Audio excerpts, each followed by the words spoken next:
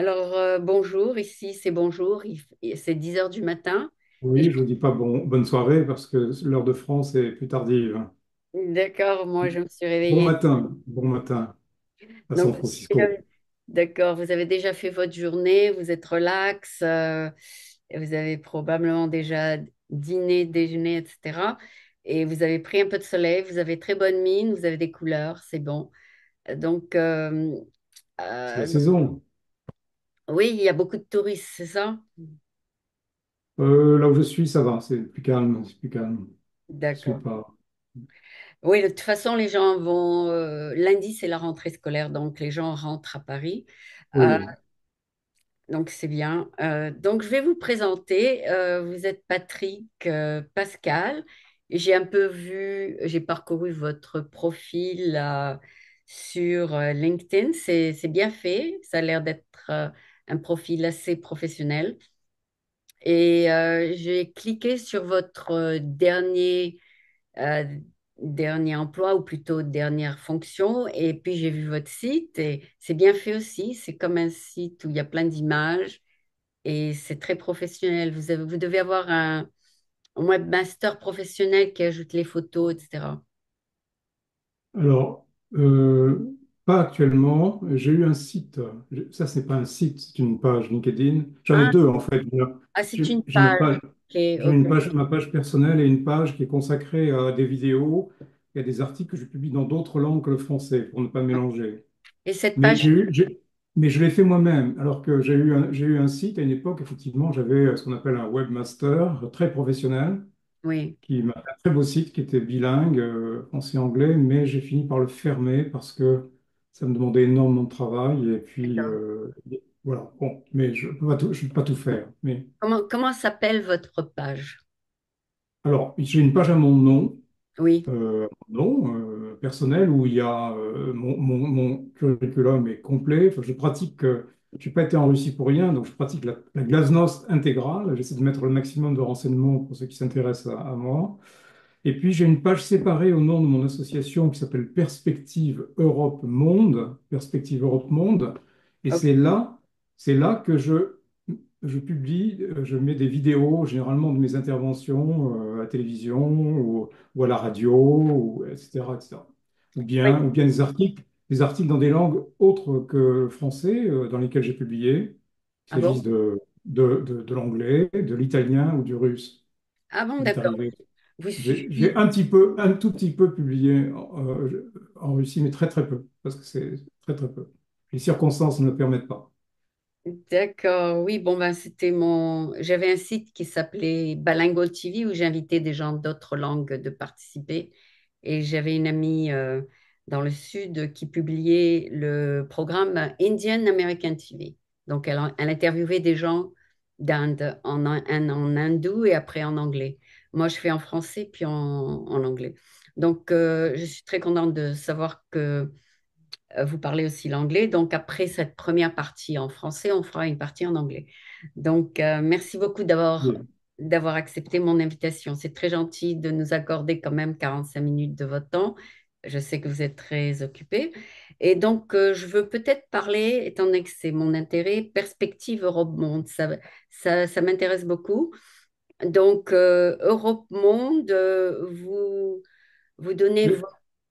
Je n'ai pas voulu mettre France dans cette euh, Oui, présentation, mais il y a évidemment la France est dans l'Europe. Donc oui. ça, je voulais pas que ça fasse France-Afrique, si vous voulez. hein, Ah France, d'accord, France, d'accord. France-Europe ou France. Donc c'est donc la France dans l'Europe et l'Europe l'Europe par rapport au monde. Donc c'est ça.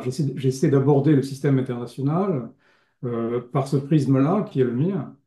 Oui, Voilà. Et, et- euh, et je, et je- et je milite pour ce rôle aussi de l'Europe dans le monde, évidemment. Euh, oui, oui, parce que maintenant, nous sommes, nous faisons partie de l'European Community. Euh, on fait partie aussi de plusieurs organisations comme l'OTAN, comme... donc euh, on se globalise un peu. Et, et ce qui est très bien, plus on ouvre nos frontières, moins on- et on se dilue un peu, euh, moins on se, on ne pense qu'à nous euh, et qu'à notre perspective de français. Par contre, on va voir euh, perspective Europe-Monde de la perspective d'un Français, n'est-ce pas? Vous êtes Français. Oui, oui, voilà. Voilà. Et, et, euh, que, que l'on soit ou non farouche défenseur de la construction europé- européenne telle qu'elle se déroule, Oui, l'Europe est incontournable pour les Européens. C'est un, c'est un, un- c'est un truisme que de dire ça. Mais, mais il- il- on, on est, on est dans le, le Royaume-Uni qui a, qui a- qui a quitté l'Union européenne est, est encore dans l'Europe, vous voyez. oui, C'est une réalité géographique, c'est une réalité historique, c'est une réalité culturelle, incontournable pour tous. Après, la question est de savoir comment on construit l'Europe dans un monde qui est caractérisé par euh, l'existence de grands ensembles. Donc, si l'Europe, si les, si les nations de l'Europe ne savent pas s'organiser au minimum entre elles, elles ne pourront pas exister sans cela, oui. quelles que soient les modalités de l'organisation de l'Europe. Voilà un peu ma philosophie euh, très, très, très, très schématisée et très simplifiée. Oui, les Britanniques, je pense, qu'ont quitté l'Europe, euh, European Community, parce qu'ils ne voulaient pas participer aux frais des pays plus pauvres. Donc, ils se sont dit non, nous, euh, Alors, j'ai un peu vécu, euh, j'ai un peu vécu, je sais pas si ça vous intéresse, j'ai un peu vécu la période qui a précédé le Brexit parce que j'étais en poste à Londres, justement. Parce oui, qu'évidemment, le Brexit ne s'est pas déroulé simplement le jour du référendum sur oui, l'appartenance à l'Union européenne, ça a été préparé de longue date. Donc, c'est une vieille histoire. Je crois que c'est une alliance un peu bizarre euh, euh, qui s'est opérée euh, au Royaume-Uni entre une élite, et je mets des guillemets, oui, euh, un peu nostalgique de ce qu'a été le, le Ro- le Royaume-Uni, et même au-delà l'Empire, hein, pour n- n'ayons pas peur des mots, oui, euh, plutôt, plutôt animé par euh, le parti, des gens venant du Parti conservateur qui étaient au pouvoir, oui, et, et une classe plus populaire à qui l'on a cessé d'expliquer que tous les problèmes du Royaume-Uni euh, étaient dus à l'Europe. Vous voyez? oui, Et alors, le jour, le jour où David Cameron, Premier ministre, qui voulait régler le débat, il voulait mettre un terme en quelque sorte, il voulait rester dans l'Europe, lui, a organisé ce référendum, comment pouvait-il convaincre l'opinion publique britannique que l'Europe, qui avait été dénigrée, je ne dis pas par lui, mais pratiquement tous les responsables britanniques pendant des années, était, était une, une solution euh, souhaitable, voyez? Et donc, ça n'a pas fonctionné. Et bon, ça, ça s'est joué d'assez peu, mais euh, donc il y a eu le- la décision britannique sur, sur le Brexit. le Brexit. C'est voilà, c'est l'alliance, l'alliance, l'alliance de l'élite britannique et de, et de pas une alliance de facto, hein, arithmétique, électorale, si vous voulez, et de population. Vous imaginez dans le nord de l'Angleterre, par exemple, désindustrialisée, on essaie de dire les problèmes, c'est l'Europe, alors que c'était aussi l'absence de politique régionale peut-être du gouvernement britannique. Je ne veux pas me mêler de leurs affaires, mais on aurait pu se poser la question, vous voyez. Tout, ne, tout devait pas être ramené à l'Europe, évidemment. Alors aujourd'hui, eh ben, évidemment, euh, alors moi, personnellement, je, l'ai regretté parce que, euh, évidemment, c'est leur choix, mais on peut difficilement imaginer une Europe politique euh, sans la présence du Royaume-Uni. Oui, c'est vrai, Euh, c'est et, vrai. et- et deuxi- et deuxièmement, la France comme le Royaume-Uni, oui, le Royaume-Uni n'a cessé de critiquer l'Europe, les institutions européennes et le fonctionnement de l'Europe quand le Royaume-Uni était au sein de l'Europe. Et la France a longtemps été aussi un empêcheur de tourner en rond. Et finalement, c'est pas inutile, les empêcheurs de tourner en rond. On aurait pu imaginer que le Royaume-Uni et la France, maintenus ensemble dans l'Union européenne, contribuent à des réformes qui sont toujours indispensables. Au sein de toutes les institutions, il faut opérer des, des transformations et des réformes. Donc, on aurait, on aurait pu profiter de cette présence euh, britannique euh, maintenue. Voilà. Et donc, je le regrette pour ces deux raisons. Ça a été, ça a été une grande surprise. On ne s'attendait pas du tout à ce que le Brexit se passe. Et maintenant, il y a des Français qui font, veulent faire le Franxit. Ils veulent Le sortir Frexit. Le Frexit. Ouais, le Brexit. Frexit, on dit le Et Frexit, euh, mais parce euh, qu'ils ne veulent plus acheter des produits agriculture euh, ouais. d'Europe. Je euh, ne parce suis que, pas sûr que ce courant soit très très fort parce que certains partis politiques euh, qui semblaient aller dans ce sens-là ont, ont modifié le- le- leur, leur discours. Euh, je peux être plus précis, mais je, je ne peux pas faire trop de politique intérieure française à la télévision américaine, franco-américaine. américaine. Donc il y a des voix encore qui rêvent du Frexit, mais je crois que cette perspective s'éloigne. Et puis il y a l'exemple du Royaume-Uni qui est, qui est peut-être un vaccin contre la sortie, parce qu'on voit bien que les choses ne se passent pas très très bien, en tout cas pas telles qu'on l'avait expliqué à l'opinion publique britannique et aux électeurs britanniques. D'accord, ils peuvent retourner s'ils veulent, n'est-ce pas? Enfin, ils se- la Alors porte ça est sera fermée. compliqué, mais euh, euh, alors vous savez, Boris Johnson, qui avait des formules extraordinaires, et c'est un orateur extraordinaire, un jour a fait un grand discours sur les relations bilatérales, euh, où- s'il parlait des relations bilatérales des relations entre le Royaume-Uni et, et le- et l'Europe. Alors, il parlait des relations historiques, euh, culturelles, militaires, et il ajoutait un terme, il n'y a que lui qui peut l'imaginer, il a parlé des relations géologiques. Ah? Donc, il y a une relation géologique. Alors, je ne sais pas ce que ça veut dire finalement, parce qu'il y a quand même un, il y a quand même, euh, euh, un détroit entre, quand même, il y a quand même euh, le- le- l'île est séparée du continent. Donc, géologiquement, elle est séparée. Mais en même temps, elle est reliée par les, par les fonds, les fonds marins. Vous elle peut pas, il ne peut pas y avoir une dérive des continents telle que le Royaume-Uni s'éloigne. C'est ce qu'il voulait dire.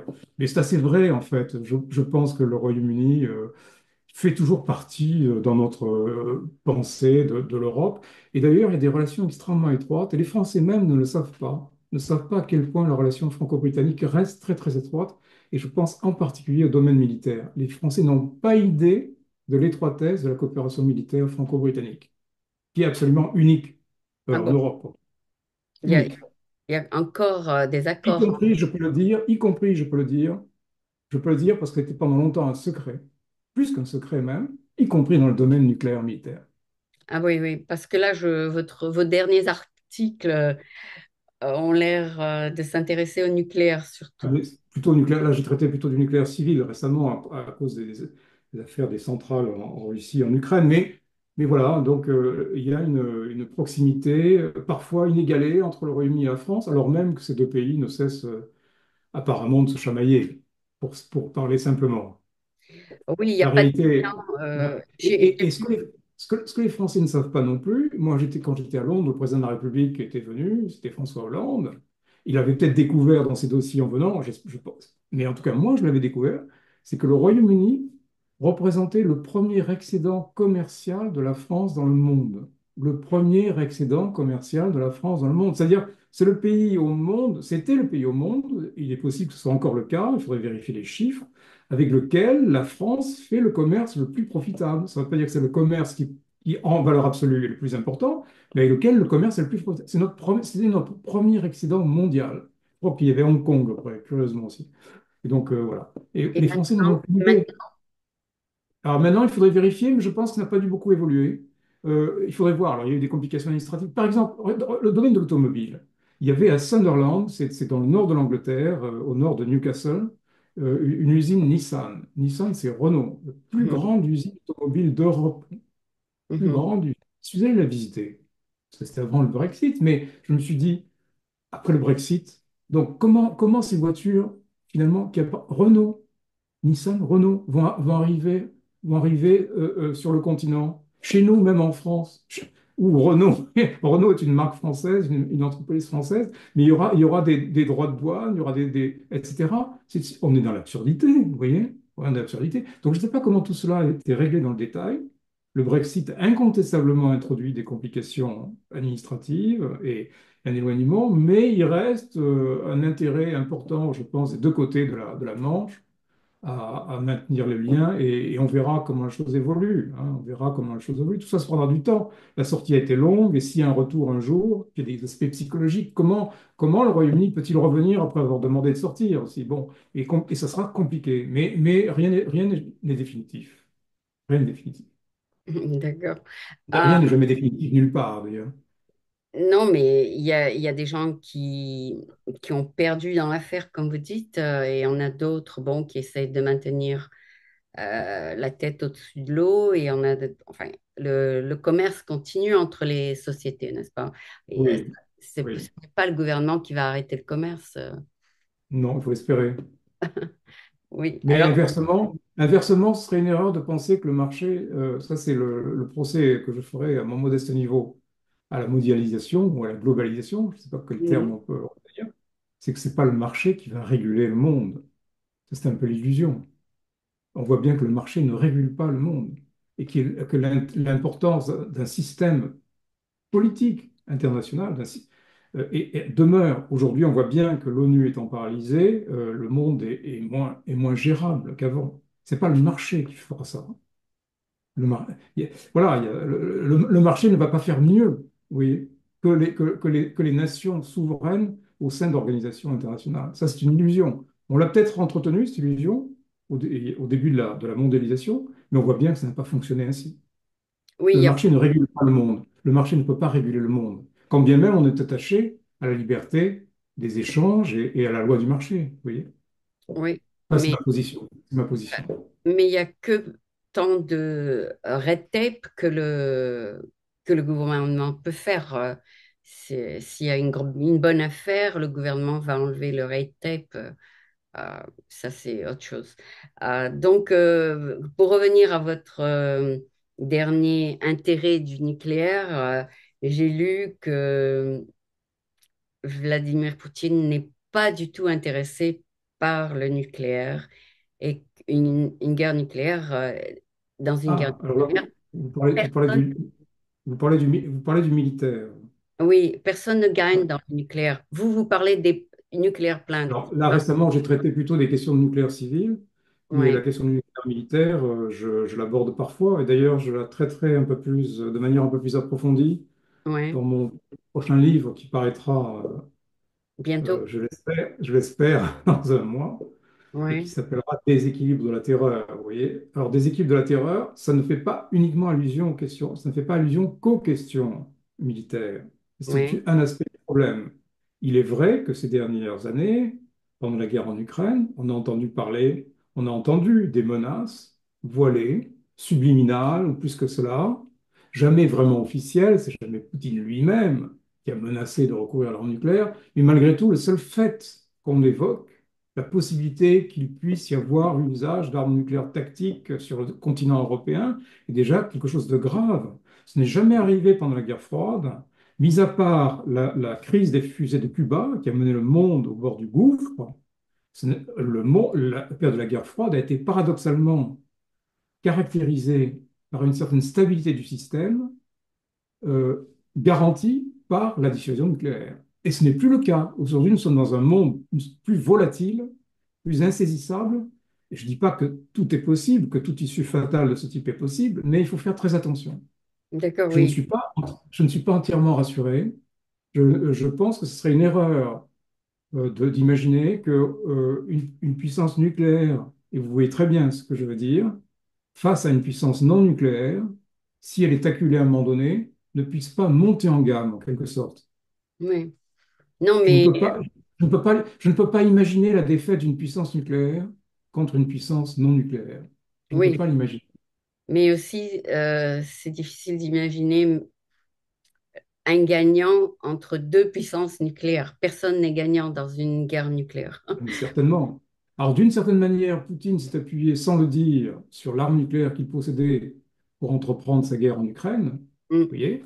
Donc, c'était, il avait sur le dos, en quelque sorte, pour impressionner. Et puis aujourd'hui, on voit bien qu'on ne peut pas utiliser ça comme ça. Et, et- et- mais, en face, les Ukrainiens doivent faire très, devraient faire très, très attention en pensant qu'il n'y a pas de ligne rouge et que chaque fois que les armements supplémentaires leur, leur ont été fournis, qu'il s'agisse des canons, qu'il s'agisse des missiles à moyenne portée, qu'il s'agisse des avions, euh, la Russie n'a pas réagi. Parce que la ligne rouge, on la découvre lorsqu'on l'a atteinte. Voilà, c'est ça. Pas... Oui. Donc attention, moi je sens une, je sens une euphorie actuellement du côté ukrainien du fait de cette incursion militaire sur le territoire russe qui me fait peur. Parce que ce n'est pas possible. Il faut faire très très attention. Il faut faire très très attention en permanence. Encore une fois, c'est pas prendre parti. Il faut être très très prudent avec, avec cette affaire-là. Ok, et Et donc, euh, toujours, voilà, quel, quel- quel est, attention à, à quel est l'euphorie. votre, euh, si vous étiez un modérateur, quelle est votre euh, formule pour euh, un dialogue de paix? Quelle est votre, euh, si vous étiez le médiateur de cette guerre, quelle est votre formule pour gagner, pour, pour apporter la paix? J'aurais préféré être actif avant la guerre et, et me, et me démener pour l'éviter. Aujourd'hui, c'est plus compliqué parce qu'on a deux pays qui ne veulent pas perdre la face, euh, qui, ont, qui, qui se, qui se détruisent d'une certaine manière, qui se font Oui, du mal. La oui, Russie se fait aussi beaucoup de mal. L'Ukraine se détruit aussi. Zelensky, d'une certaine manière, ça va vous choquer, peut-être ce que je vais vous dire. C'est pas oui. une, pas une, une prise de position, mais Zelensky détruit l'Ukraine. Quand vous êtes président d'un pays, vous demandez plus d'armes, mais que vous savez, devrait penser qu'en face, il a une puissance nucléaire, il a un colosse et, et- et- et que finalement, il, il gagnera quelques kilomètres carrés, quelques dizaines, voire quelques centaines de kilomètres carrés, ce qui est le cas actuellement, 1000, hein. au prix de dizaines de milliers de morts si la guerre continue. Oui, oui, oui. fais- Faisant cela, vous détruisez votre pays. Donc la question se pose pour un dirigeant à sa place. Que faire? C'est une question. S'il a, s'il a une perspective historique, s'il a une vision historique de son pays, il devrait songer à ça. Donc moi, je lui parlerai un peu comme ça. Et puis quant à la Russie, je dirais que elle s'est engagée là dans un projet impérial, d'une certaine manière. C'est peut-être la, queue de comète, c'est peut-être la fin des aventures impériales classiques, mais que au fond, parce que j'ai connu, j'ai comme travaillé dans ce pays pour une grande société, euh, euh, la Russie est, plus moderne qu'on l'imagine, mais en même temps, elle n'est pas aussi moderne qu'on sou- souhaiterait, qu'elle-même souhaiterait l'être.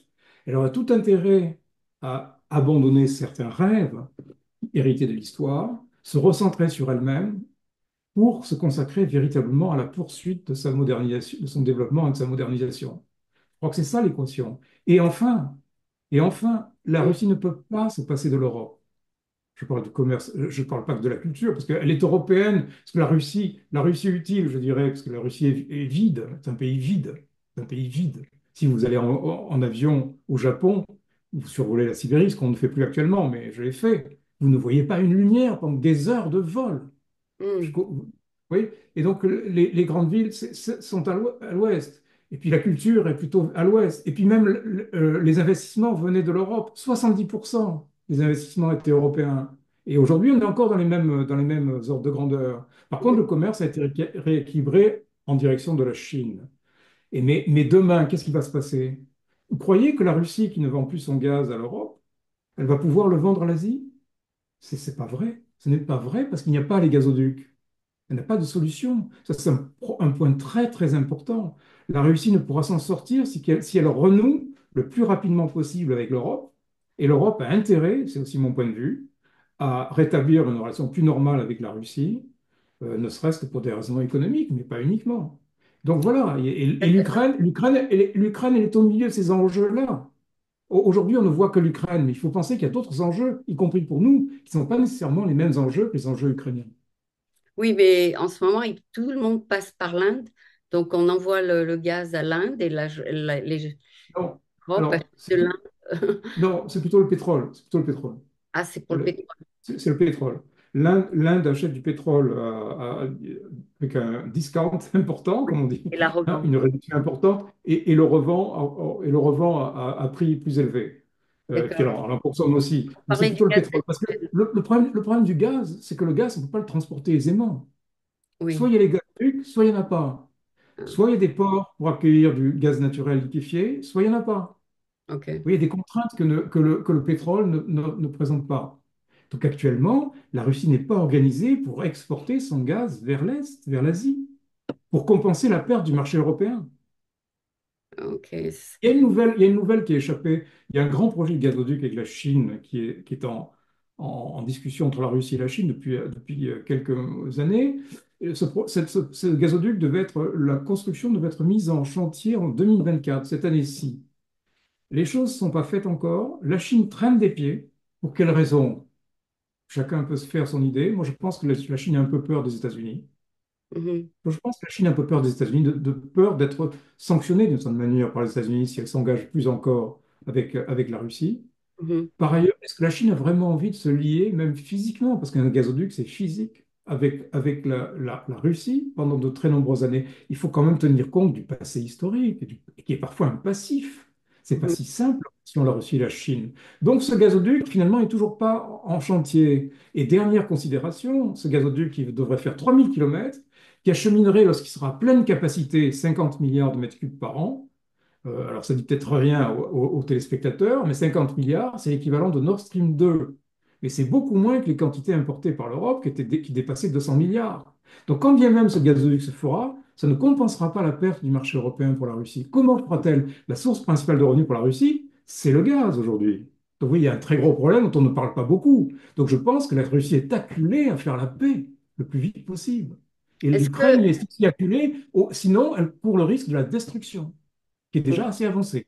est-ce que vous êtes en mesure de traduire votre euh, proposition que vous venez de, euh, d'exprimer oralement et de l'envoyer en russe et en ukrainien pour, pour qu'ils puissent euh, l'examiner. Est-ce que vous avez un moyen de communiquer? c'est ce que, c'est ce que, c'est ce que, c'est pour ça que je suis, j'ai une activité médiatique. C'est pas pour montrer ma, ma, ma- mon visage à la télévision. C'est c'est un plaisir d'être à la télévision, certes, mais c'est parce que j'estime avoir le devoir de transmettre une expérience. Je ne détiens pas la vérité, bien entendu, mais j'ai une certaine expérience qui peut avoir une certaine utilité, que j'ai acquise dans, certaines parties du monde. Et si j'écris, si je passe à la télévision, c'est principalement pour passer ces messages.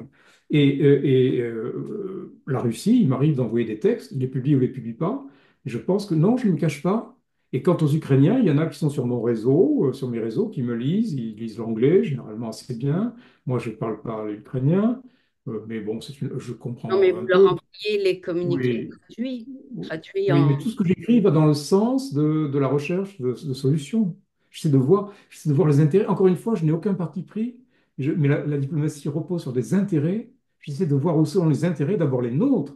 D'abord les nôtres. Je préfère mes les intérêts de la France et de l'Europe que les intérêts, pardonnez-moi, que de l'Ukraine, de la Russie, mais, mais, mais aussi de, de, de mettre en de souligner leurs intérêts à eux pour qu'on sorte de cette guerre qui est anachronique, anachronique sur le continent européen. Oui, les intérêts de la France sont liés aux intérêts de- des Ukrainiens, de la Russie aussi. C'est-à-dire qu'il y avait beaucoup de, de commerce entre ces pays et la France. Alors, la, la France a, euh, a pris une position très ferme, euh, de plus en plus ferme au cours de la guerre en Ukraine en faveur de l'Ukraine, pour, pour déf- la défense de l'Ukraine. Mais euh, oui, euh, on a, le devoir de défendre l'Ukraine qui mérite de vivre. On ne peut pas accepter que les frontières internationales, des frontières internationales d'un État souverain soient, soient violées comme on l'a été, ce qu'a Ouais, reconnu le secrétaire général de l'ONU lui-même. Et par ailleurs, ça perturbe beaucoup la construction de l'Europe. Pour ces raisons-là, notre intérêt, c'est pas que cette guerre continue et qu'il faut soutenir évidemment l'Ukraine. Mais en même temps, on a de très gros intérêts, on avait de très gros intérêts en Russie et on en a toujours, et le monde entier a de très gros intérêts en, en- en Russie. Qu'est-ce qui se passera demain si le, si l'Iran franchit le le seuil nucléaire? Qu'est-ce qui se passera demain avec la Corée du Nord? La Russie a toujours été très raisonnable avec ces pays, contrairement à ce qu'on pense. Je, je l'ai vécu. Euh, on aura besoin d'elle, y compris au Conseil de sécurité. On aime ou on n'aime pas Poutine, on aime ou on n'aime pas la Russie, puis il n'y a pas Poutine en Russie, puis il n'est pas éternel, et personne ne l'est. Mais il faut, il faut voir que la Russie, la Russie est une puissance. Obama l'avait qualifiée à tort, parce que c'était assez blessant et pas tout à fait juste, de puissance régionale. Ce n'est plus la superpuissance que ça a été au niveau des États-Unis, mais ce n'est pas une puissance régionale, c'est une puissance qui a un rayonnement dans le monde entier, ne serait-ce que par sa taille. Elle est la première puissance nucléaire par le nombre des ogives. Il ne faut pas l'oublier, elle est une superpuissance nucléaire encore, la Russie. Et là, elle a, elle a une influence internationale très importante et elle peut aider à la solution de crise, y compris, et je ne l'ai pas cité, mais je le fais maintenant, y compris au Proche-Orient. Y compris au Proche-Orient. Oui, il paraît que l'Ukraine va Ça, c'est bien. un argument Oui, euh, votre point est très bon de dire que tous les hommes en Ukraine en- sont morts parce que l'Ukraine maintenant veut envoyer les femmes. Non, je n'ai pas dit ça, mais ils sont en train de détruire, oui, ils sont en train de détruire une ou deux générations. hein. l'Ukraine euh, vient d'annoncer qu'ils vont envoyer des femmes euh, en bataille parce qu'ils n'ont plus assez d'hommes. Mais je ne sais pas si vous avez lu cet article. Non, Mais mais euh, oui, on- oui, il y a de plus en plus de... puis les- oui, il y a de plus- Et puis, et puis euh, vous savez, quand il y a eu la fameuse affaire du- d'un barrage, vous savez, sur le, le Dniepr qui avait été, qui avait explosé, on avait attribué ça aux Russes, ça remonte déjà à une petite année peut-être. On n'a jamais très bien éclairci ça, mais, mais euh, la- le Fonds monétaire international avait évalué à ce moment-là le coût de la reconstruction de l'Ukraine. À ouais, l'époque, on était, évidemment, tout ça est, à la- à- c'est une, une évaluation approximative, j'imagine, les ex- même si ce sont des experts, mais on parlait de 700, au moins de 700 milliards de dollars à l'époque. Et depuis, évidemment, la, la- la facture s'est aggravée. Qui oui. va payer ça? Qui va payer ça? Vous croyez que les États-Unis, qui aident l'Ukraine, vont payer la reconstruction de l'Ukraine? Pardonnez-moi, mais j'en doute beaucoup. Pardonnez-moi, mais j'en doute beaucoup. On a, on a, proposé. on a l'ex- on a l'exemple de la guerre du Golfe. hein. On a l'exemple de la guerre du Golfe. hein. C'est pas, ça, c'est pas, oui, c'est du réel. hein. Euh, qui a, le Koweït, oui, la construction du Koweït ou l'Irak. Et puis, vous croyez, est-ce que l'Europe, euh, l'Europe, euh, elle pense que c'est son intérêt de, de payer toute la facture de la reconstruction? Vous imaginez ce que ça représente pour l'Europe? Mais les bon, États-Unis il faut quand même, il faut quand même se mettre ces chiffres dans la tête, indépendamment des. Il y a, il y a d'abord les hommes et les femmes qui meurent, et la destruction euh, des, des habitations et des, et des biens matériels, les infrastructures. Et puis il y a aussi, il y a aussi ça. Vous voyez? L'Ukraine, malheureusement, quel- quoi qu'il arrive, qu'elle gagne, imaginons même qu'elle gagne la guerre contre la Russie, que finalement son opération militaire aboutisse à une déstabilisation du pouvoir, que la Russie, etc., etc. Mais il va falloir qu'elle se reconstruise. Oui, Et c'est mais pas une... ça dans des années, des années. dans les dernières nouvelles, euh, les États-Unis avaient proposé une aide de reconstruction en Ukraine. euh, donc, euh, Oui, dans- c'est dans le plan de paix. oui. Je n'ai pas lu dans le programme de Donald Trump ou de Kamala Harris qu'ils avaient euh, euh, comme ça mis comme provision 7 800 ou, euh, ou 1000 milliards de dollars, vous voyez, pour la c'est reconstruction dans le plan, c'est dans le plan Biden, en tout cas, de reconstruire, de les aider à Oui, reconstruire. sans- oui, on peut dire ça, ça après, après. Mais co- faut- si- qui va prendre l'engagement sur les chiffres? hein Euh, on verra, on verra si les États-Unis débourseront 1000 milliards de dollars pour reconstruire l'Ukraine. Oui, oui, Permettez-moi d'en douter. Qui, qui a la possibilité de le faire? Donc c'est ça les réalités du monde, vous savez, c'est triste, mais c'est comme ça. hein. verra. j'ai pas été en entreprise pour rien, il faut savoir compter hein, aussi. hein. Il n'y a pas Ouais. que, il y a pas que les sentiments. Il n'y a pas que les sentiments. Et dans les relations internationales, il y a très peu de sentiments. Mais je suis sûre Pas que beaucoup. J'en fais pas beaucoup dans l'affaire russo-ukrainienne, à part les victimes. Évidemment, on a toujours de la compassion pour les victimes, quelles qu'elles soient. Oui, sinon, je ne fais aucun sentiment. J'essaie de rester froid. Parce on- que si on ne l'est pas, on oublie des données fondamentales. Comme ce que je vous disais à propos de l'énergie pour la Russie. Elle a un gros problème dont on ne parle pas beaucoup. Un très gros problème, qui est comment compenser la perte du marché européen. Elle n'a pas la solution actuellement. Personne n'en parle. Mais euh, pour revenir à ce que vous venez de dire, euh, qui que ce soit qui va gagner les élections aux États-Unis, on sait que si c'est les démocrates comme ils vont suivre le plan euh, Biden, et si c'est les Oh oui. républicains, pas du tout. A priori, oui, c'est ce qu'on peut imaginer.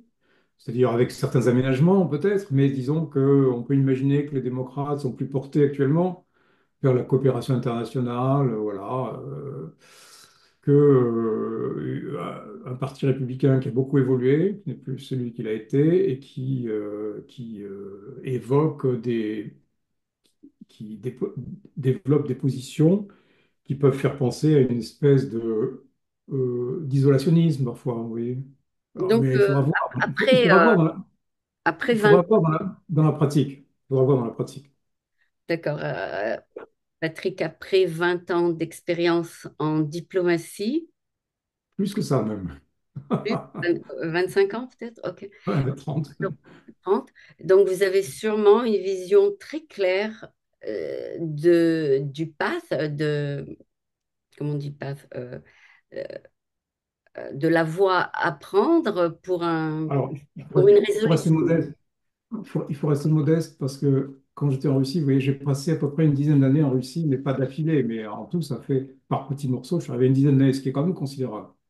Et plus, plus j'avançais dans le temps et dans la connaissance de ce pays, plus je me disais, moins je comprends. Plus je sais, moins je comprends. Voyez, pour ne parler que de la Russie. Mais bon, c'est vrai que je sais, bon, j'ai une idée de ce, d'abord de ce qu'il ne faut pas faire, peut-être. hein. Puis aussi de la, de la façon dont il faut gérer, la le, le- gérer le dialogue. Mais Moi, j'ai jamais de faire, vous êtes un diplomate. Non, mais, non, mais il y a aussi il y a une certaine technique. Alors, moi, chacun son style. Mais vous voyez, j'étais en Russie, c'est pas un pays facile. J'étais aussi dans des pays difficiles aussi. J'étais en Syrie. vous voyez. Et dans les deux cas, je me suis comporté de la même façon. c'est- C'est-à-dire que en, en privé, tout est possible. On peut être en désaccord total. Et on Mm. peut se dire les choses de manière désagréable même. Et il n'y a pas de problème. C'est d'autant mieux, mieux compris par le partenaire. Bon, il ne faut pas, il faut pas l'insulter, bien sûr, mais, mais on peut être très, très ferme et, et en désaccord. C'est d'autant mieux compris que, comme on est en privé, il en tirera la conclusion que on on n'essaie pas d'avoir le beau rôle et que si on s'exprime comme ça, c'est qu'on est honnête. Parce que l'intérêt serait plutôt de faire semblant et de passer la pommade dans le dos. Vous voyez? Donc, et ça s'est toujours très bien passé. Les Russes m'ont toujours fait confiance. Ce qui, importe, c'est qu'ils aient qu'on ait confiance en vous et qu'on soit cohérent. Et ça marche très bien avec les États les plus difficiles.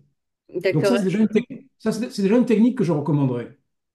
Mais que jamais, jamais, jamais en public. Si, si Obama dit en public la, la euh, Russie est une puissance régionale, il a eu tort de le dire. Je D'accord, vois pas très bien ce que ça a apporté. Donc, vous voyez, c'est une. Je n'ai rien contre Barack Obama, mais, mais vous voyez, il faut faire très attention à la communication est-ce publique. que vous vous sentiriez en sécurité d'aller en Russie, en Russie pour un dialogue? En sécurité, Oui, est-ce que vous, vous aurez peur pour votre vie d'y aller? Oh bah, je pense que euh, moi, moi, de toute façon, je, je- je ne suis pas, je ne suis plus un officiel, je ne suis pas mandaté.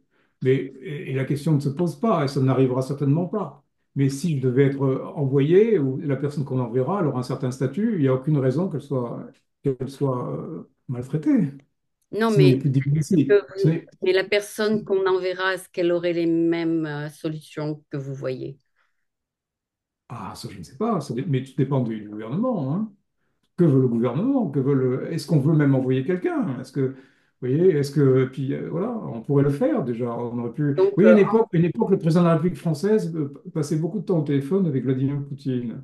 oui, mais Bon, ça n'a pas, pas fonctionné, mais aujourd'hui, il ne le fait plus. Alors, c'est, est-ce qu'il va le faire demain? Est-ce qu'on va le faire demain? Je ne sais pas, ça. Oui, mais en 2024, euh, Auguste, euh, Auguste, août 2024, est-ce que les diplomates sont bien traités en, en Russie? Est-ce que vous vous sentez euh, que, vous que avez faudrait, il faudrait, il faudrait demander, il faudrait demander à notre ambassadeur sur place, qui est resté pendant toute la période de la guerre, qui a l'air euh, que je connais un petit peu, mais, euh, apparemment, ça se passe convenablement. Je pense qu'on a dû réduire un petit peu les effectifs. Mais il est toujours là-bas. il, il est toujours là-bas. donc, donc, vous voyez, on n'a pas rompu. On a, on a toujours des, des relations. On a un ambassadeur. On n'est pas les seuls. Les Allemands, les Américains ont des ambassadeurs qui font leur travail. euh, alors, peut-être qu'ils sont un peu plus surveillés. Ils ont peut-être euh, moins de facilité pour avoir des rendez-vous, etc. Mais quand il y a eu la cérémonie d'intronisation du, du président Poutine, qui a été, donc Oui, été réélu oui, au mois oui, de mars, eh bien, l'ambassadeur de France était présent. Ah ben c'est bien, c'est un Non, bon... mais il est, il est un des rares Occidentaux à être présent. J'étais même surpris qu'on ait cette, qu'on ait cette audace, vous voyez? Non, mais c'est que, bien. je pense que- mais alors, si on fait pas ça, vous voyez, alors ça peut être critiqué, mais comment on peut aller à l'intronisation d'un nouveau président qui est présenté comme un criminel, etc. Mais à ce moment-là, il n'y a, plus de diplomatie, à ce moment-là, vous comprenez? Il faut avoir de la diplomatie. diplomatie. Il faut avoir. Et il faut, il faut, il faut garder, il faut qu'il y ait des gens qui, qui, qui, qui restent des canaux incontournables si nécessaire. Sinon, c'est très dangereux. hein. Et d'ailleurs, vous savez, ces canaux existent. Par exemple, entre les États-Unis et la, et la Russie, je suis convaincu, je n'ai pas d'informations particulières, canaux. mais entre, entre militaires de haut niveau, il y a un dialogue permanent sur, le, sur les, les questions militaires et le nucléaire. Permanent. Est-ce que Il y a vous... une espèce de club, voyez. Ça, les Ukrainiens, ils ne peuvent pas le comprendre. Ils ne peuvent pas le comprendre. Et c'est inévitable, c'est normal. Vous voyez, c'est une, question de, euh, Patrick Pascal, vous pouvez avoir des contacts avec euh, l'actuel ambassadeur de, de France en Russie? Est-ce que vous, vous avez le droit de communiquer? Avec notre ambassade à- de France, oui. euh, rien n'est interdit, rien ne m'empêche d'écrire. euh, vous savez, il y en a des adresses email génériques, génériques hein, vous savez, hein, Ah bon? les entreprises. Et, je pourrais très bien écrire un mail à l'ambassadeur, mais pourquoi je n'ai pas de, je n'ai pas de raison de le faire parce que je ne suis pas dans le système pour respecter le fonctionnement normal. est-ce que vos courriers sont inspectés par les services secrets? Ah, bon, vous savez, un mail, un email, c'est pas, pas une garantie absolue de, sécurité. Non, mais je veux dire, je ne le ferai pas parce que ça ne se fait pas. Je, n'ai pas mon mot à dire. Je suis en, je suis en dehors du système maintenant. Je n'ai pas de fonction. L'ambassadeur, il écoute, euh, il, dépend du ministre, il dépend du président de la République. C'est à eux qui réfèrent. Ces, instructions viennent de là. Personne ne doit interférer. Je n'ai pas interféré. Si j'allais si faire du tourisme, j'allais faire un petit tour à l'ambassade qui me recevait, qu'on parlait, je, je parlerai librement comme je le fais avec vous, certes, certainement. Mais sinon, je ne vais pas, je vais pas m'engager dans une opération de diplomatie parallèle, euh, alors même que je ne suis pas une célébrité de la diplomatie mondiale et que je, ne, et je- que je respecte le mode de fonctionnement des, des circuits diplomatiques. Donc pour l'instant, enfin pour en ce moment depuis trois ans, vous êtes le président de Perspective Europe Monde, mais vous n'intervenez jamais. Non, non, je n'interviens jamais. Je n'interviens ja- jamais dans, ces, dans ces ci- circuits-là. Je peux rencontrer tel ou tel collègue euh, ou ancien collègue sur des plateaux de télévision ou ailleurs, on discute, etc. Mais moi, je ne vais jamais contacter, jamais quelqu'un qui est en, fonction pour avoir un échange. Il a autre chose à faire que de me parler. Et même s'il apprécie ce que je lui dis, si, si j'ai un lien amical, vous voyez, ça n'a pas d'utilité, je n'ai pas de valeur, parce que je ne suis plus dans le système, vous voyez, je n'ai pas de valeur. Mais vous Si je suis mandaté, si on, valeur. si on, si on vient me chercher, avec- si on, si on vient me chercher là où je suis pour me dire, cher monsieur, on aurait besoin de vous pour telle ou telle mission ponctuelle, donc je suis, ça c'est différent. On m'envoie en Syrie pour établir un minimum de relations avec la Syrie de Bachar el-Assad. Pourquoi pas? Pourquoi pas? Tout est possible, mais on ne me l'a pas demandé. Euh, vous pouvez être un consultant, comme on dit en France. On peut vous consulter. Vous pouvez être un consultant. Ah, si, n'importe qui peut me consulter. D'accord? Donc, euh, c'est ça ce que vous devez faire. Vous Ou devez être un consultant euh, dans le secteur privé auprès. Ou Alors, moi, consultant ou être consulté, moi, pas. C'est pas tout à fait la même chose. vous consulter étant donné que vous avez tant d'années d'expérience. Oui, mais il y en a d'autres. Il y en a d'autres. J'ai d'autres collègues qui sont tout aussi, euh, qui ont toutes sortes d'expériences. Mais ils n'ont pas les mêmes vues que vous. Ils n'ont pas les Oui, mêmes. mais elles sont peut-être meilleures, leurs vues. Elles sont peut-être meilleures que les miennes. Qui, Oui, d'accord, mais vous avez le droit d'être consulté. Vous pouvez être un consultant. Ah, mais si, on, si je suis, si je suis consulté, je répondrai, bien entendu. Ben, Bien sur votre entendu. euh, mettez consultant. Moi, je, parce que là, je vous consulte. Euh, vous mettez sur votre site consultant en affaires euh, européennes mondiales. Ça a l'air intéressant. Au moins, vous êtes utile. Les entreprises aussi, les grandes entreprises auraient intérêt, parce que j'ai aussi une casquette entreprise, moi, c'est pas toujours le cas. C'est assez rare même que les, les gens de la... di- Parce que j'ai- parce que j'ai- Ouais, je- j'étais en entreprise, j'ai fait les deux. oui, d'accord, mais perspective Europe monda- monde, Alors, ça perspective Europe-Monde, c'est c'est- c'est une... moi, C'est ça c'est me une fait peur. C'est c'est- c'est un- c'est une ombrelle, si vous voulez, perspective Europe-Monde. Je fais ce que je veux avec ça. Je Voilà, c'est organiser, ce je que peux je organiser des débats. À une époque, j'accueillais des étudiants en stage. Vous voyez, c'est, c'est- ça peut être, ça peut être une, une structure qui permet de faire du consulting, comme vous dites, dans le privé. Ça peut être des, des- Après, on peut transformer les statuts. Oui, ça peut servir à tout. D'accord. En tout Donc, cas, à la bonne- Oui, ça peut servir à vous pouvez tout. offrir vos services de consultant euh, pour mettre euh, en, en application peut-être euh, vos solutions. Voilà, c'est ce que je veux dire. Si vous êtes un consultant, un consultant que- qui vraiment il ne voit pas une issue, ils peuvent vous consulter, n'est-ce pas? C'est comme ça la diplomatie? toujours, toujours ouvert. Vous êtes toujours toujours ouvert D'accord. Donc, euh, je vais ajouter sur votre euh, site Perspective Europe Monde, Patrick Est ouvert à être euh, un consultant dans les affaires mondiales. Voilà, Europe Monde. D'accord.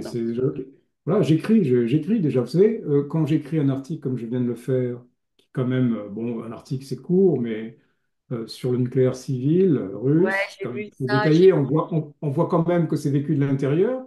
Je peux vous dire que je reçois beaucoup de messages de gens qui sont eux-mêmes des consultants en stratégie d'entreprise, etc. Ah Je bon? reçois beaucoup de Ah messages. bon, Ah bon, c'est ouais, intéressant ça. Simplement, bon, euh, moi je fais ça gratuitement. Voilà. Eux, ils se font peut-être payer. Oui, non, mais j'ai vu, j'ai vu un commentaire. euh, il n'a pas l'air d'être euh, consultant, il a l'air d'être euh, bia- bay, euh, c'est-à-dire il est que d'un côté euh, au lieu de voir toute la- toute la- tout, tout le problème. Il y en a qui regardent un problème, il y en a qui regardent de l'autre côté, et il y a personne qui regarde au milieu. Euh, là, vous avez remarqué ça? oui. Oui. C'est un, problème. Non, mais oui, c'est un, problème des entreprises. Moi, j'ai beaucoup de respect pour l'entreprise, j'ai beaucoup de respect pour le service de l'État. J'ai fait les deux choses. Il n'y a pas de monde idéal. Mais avoir les, deux perspectives est quand même très, très utile. Vous voyez, dans les entreprises, il y a des gens très brillants. Il y a des, aussi des ingénieurs déjà. Et puis, il y a des gens qui ne sont pas que des ingénieurs. Mais ils, ne mettent pas toujours en perspective. Pour faire, du, business, du big business en Russie, il faut avoir une vision stratégique et, qui dépasse euh, une formation, la formation de quelqu'un qui a, qui a eu une carrière en entreprise. Alors, ça ne veut pas dire qu'une personne qui est en entreprise n'est pas capable d'accéder à ce stade-là, vous voyez, mais c'est pas si fréquent que ça. Et, réciproquement, euh, les diplomates, y compris à un niveau élevé, n'ont pas toujours. Finalement, c'est un peu le même métier. Les grandes entreprises qui sont dans des secteurs très stratégiques, comme je l'étais, moi j'étais dans un secteur stratégique, hein, le- les chemins de fer, le nucléaire civil, etc. Et la diplomatie, c'est un peu la même chose, mais il y a une grande, différence, c'est l'argent, les emplois, euh, la clé, etc. Et donc, le diplomate, il peut avoir des pensées sublimes, après, les faits, euh, si- s'il n'y a pas beaucoup d'effets, il ne sera pas nécessairement pénalisé. Mais par contre, si vous êtes- quand vous êtes en entreprise, euh, il y a une sanction. Il y a une sanction de- du, du résultat, euh, euh, du résultat et, et, euh, des contrats et en dépend de le- l'emploi de beaucoup de gens. Ça empêche de dormir. Donc c'est ça la grande différence. C'est- Oui. Et, il faut, Ah Non, et non, c'est il y et a, c'est il y a- bien, c'est bien d'avoir les deux approches en même temps. ouais, c'est comme les gens qui ont un budget, ils ne peuvent pas aller de- du côté gauche ou ils ne peuvent pas aller du côté droit. Mais C'est un un petit peu ça, ma- si j'ai une valeur ajoutée, enfin, c'était peut-être celle-là, parce que j'ai ce, ce profil double, en quelque sorte, et pas si courant que ça. Pas si ah, courant que ça, non, c'est assez rare. Assez rare.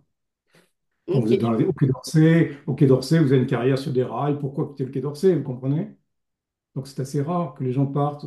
Moi-même, voilà, moi j'avais envie de faire cette expérience. Après, je l'ai fait d'ailleurs, euh, je suis revenu. Alors après, quand vous revenez, on vous a oublié, vous n'êtes plus sur les écrans radars, donc vous êtes un peu pénalisé. Donc vous voyez, il faut, faut penser à tout ça. Bon, mais c'est comme ça. Moi j'ai fait les choses parce que j'avais un intérêt, j'avais un- j'avais un- j'avais envie, j'ai- c'était ma mentalité, c'est mon approche, j'avais l'esprit d'entreprise aussi. Donc j'ai fait les choses naturellement. ok, Après, Patrick. peu uh, importe. we Voilà. have come to the end of the French Yes, part, uh, so I'm going to do yes, a little segment in English for those yes. Understand. For, for different uh, No, uh, did not understand people. everything you said, we're going to Mm. do a small part to Yes. Zoom uh, to Yeah. make uh. I will do my best to yes. answer your question I will help you. I will help you and guide you. So Patrick is, um, um, I would say, a diplomat who is now pursuing his uh, uh, his uh, interest uh, with the company or with the foundation called Perspectives Europe World, correct? Yes, And.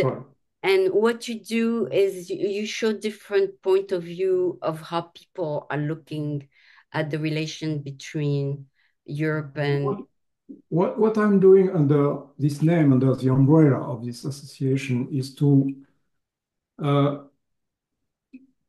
to to to exploit my my professional experience, past experience, yes, under the condition that it's still useful today. okay, So I'm doing my best for that. I feel compelled to transfer, to hand over to the maximum of people your the knowledge. chance, the chance I had to live and work around the world, uh, if it can be beneficial for them. So that's what I'm doing when I'm writing uh, an article in paper, when I'm writing a book, when I'm on the television like today. That's my, my main purpose. Are your books mainly read by political science students, or is it more a common read? Is it an easy read? Is it easy to read your book? I, I, I, I respect viewers. I respect the readers. When I'm when I was on TV, I, I'm always trying to to give to put some substance into what I'm saying. Yeah. So it's demanding, but it's also pedagogy. And I and and I I think that everybody, even a person who has not been educated at the highest level of university, has Yeah. a possibility to understand me. I'm doing my best for that. Okay. I'm, I'm trying to talk to the maximum of people. Not uh, my my audience is not limited to academics, to journalists, to Okay. people working in think tanks, but to everybody. But I'm at the same time demanding, I'm inserting some reference to history, to culture, to history of international relations, because I'm respecting the people I'm, I am addressing. I think they have the capacity to understand. Why I would not do that? Why I would consider that not, they don't have the capacity to, to, to, to have access to history and culture. Everybody can be educated, everybody can improve. I'm doing that myself. I'm every day I'm trying to improve myself uh, also. If I go on Amazon, what is the book that you think is the most valuable to read by You, are you, Patrick, by Patrick Pascal?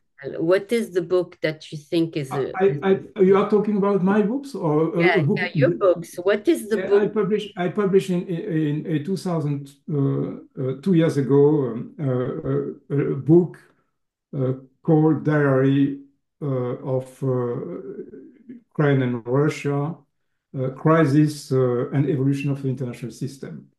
This book is not only limited to, to the war, the current war in Ukraine, but I, dairy? I try really a diary first? I try to select. It's not it's not exactly a diary Okay. because I I was I, I wrote this book following the, the development of the war on, on, the, on the field.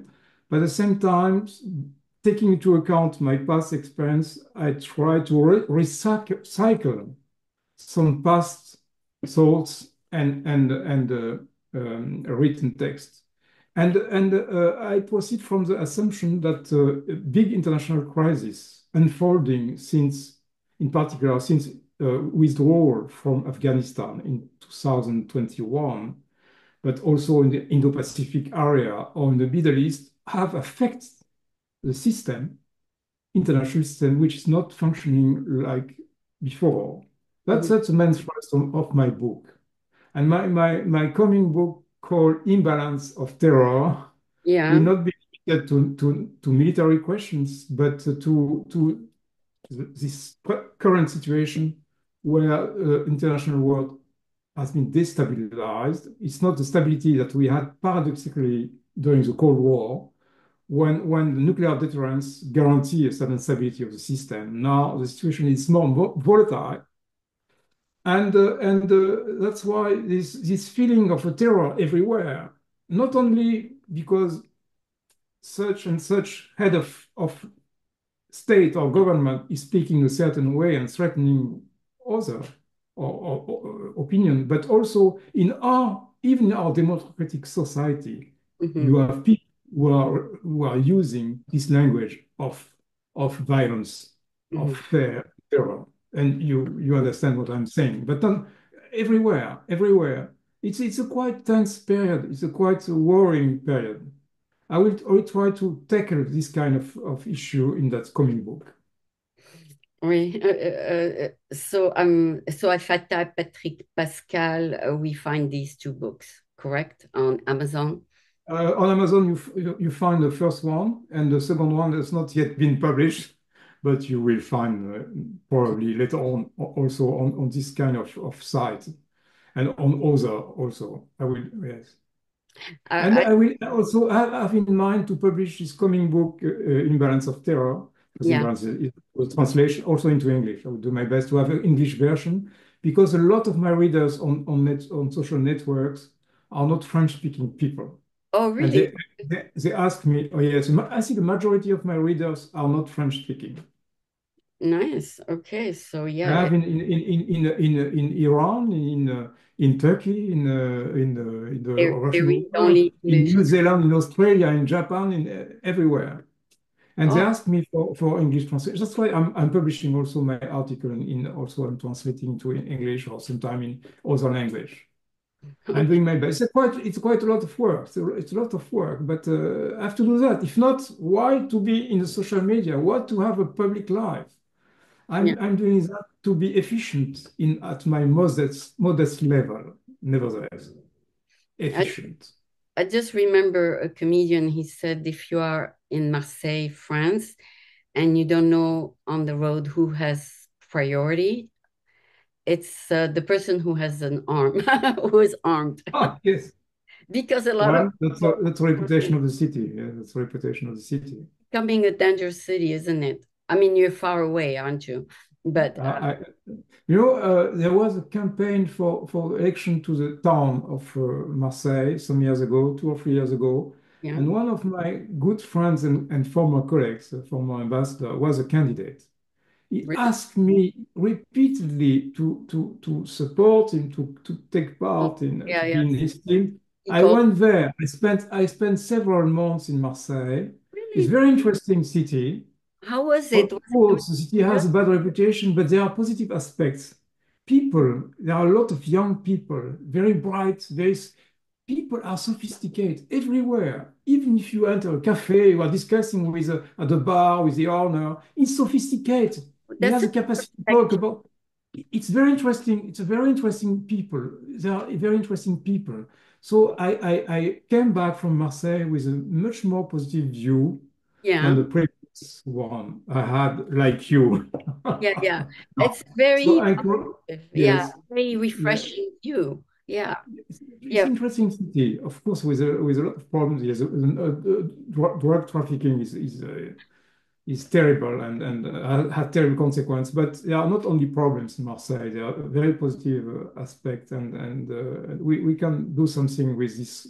With, with yeah. intelligent people. His uh, representative Manuel Bompard is my favorite deputy, and I follow him. I, I think he he presents. Ah, he's from Marseille. Yes, he's elected in Marseille. Yes, elected in Marseille by sixty-five percent or seventy percent. Yes, very popular there. And he knows how to present things very well and very objectively because he doesn't take sides. He, I, I like uh, why I understand why he was elected. Hmm. Uh, and, the, and the city changed also a lot. You know, the city has been renovated. There are there are wonderful museums. There, there's a, uh, the port, Vieux Port. Yeah, I heard, I heard it's but, very nice. It's very nice. It's very really nice. And the Mediterranean scene, you cannot. If, if let's imagine that Marseille is the worst city in the world, but you yeah. have the Mediterranean Sea, so it changed everything to have such a sea uh, in in the in the uh, proximity in the vicinity. It's, it changed yeah. everything uh, this person? I, am I'm, I'm from Provence originally, so okay. not from Marseille, but from, from Provence. So of course, uh, I'm inclined to, to love this uh, this part of France. You, would you be interested to be a deputy in the House of um, Representative of France? I think I'm, I'm, getting a bit old now to to start a new career. You know, you remember General de Gaulle when he came back to power? Uh, he said, "Can you imagine?" I would be a dictator at 65 years when I'm 65 years old, how can you imagine I could be a dictator? it's too late. Oh. So it's too late, but I would have loved to be elected to the European Parliament because okay. I used to practice in my, during my career uh, multilateral diplomacy. For example, I was posted in New York at the French mission to the United Nations for a few years, many years ago. Yeah. It's just one example. So I, I know the technique of, of multilateral di diplomacy public diplomacy and multilateral diplomacy. And I would have loved to, to implement that experience uh, in Brussels in the European Parliament. But election just took place and it's too late. I have to wait for a few years and it will be too late. So unfortunately, and I think I had already at least two careers in diplomacy and in, in big business, and I won't have a third one, except maybe to be in the media and develop my activity in the media. Oh yeah, yeah. You should start your own YouTube uh, channel and then uh, have followers of your of your maybe, week, of your maybe, weekly. But but uh, I need some support. I cannot do everything by myself. You know? Yeah, yeah. I mean, uh, you you don't have to do an hour long like this. You can do like five minute little clips every day or every week, and as long as you increase uh, your viewership, maybe you'll see if people have interest uh, in what uh, in your channel or not. But I was often on television uh, in France. Yeah. Uh, Uh, one year ago, I will do that again, uh, hopefully. Yeah. Uh, I don't think it's it's it's the same. It's equivalent to to have his own YouTube channel. Yeah, yeah, yeah. It's the same. Yeah. So if I'm often on television, I can put a link on on my LinkedIn page and people yeah. can, uh, well, so it's more or less the same, more or less the same. But you, we have to be present. We have to uh, never give up, and, and uh, as as long as we we we think that we still have something to say that can be useful. Exactly. Well, be... we look forward to hear more of you, and we look forward for you to stay energized and productive, so that you will always be able to communicate with the world on perspective. What is it called? Perspective. Europe, Europe Monde. Europe Monde. So thank you so much. So for having me invited to, to be part of your program. I appreciate your time. You have been very kind to accept my invitation, and uh, uh, I hope you have a uh, a good Sunday. Although it's the end of your Sunday, mine is starting. Thank you so much. Thank you. Thank you very much. Okay. Let me see.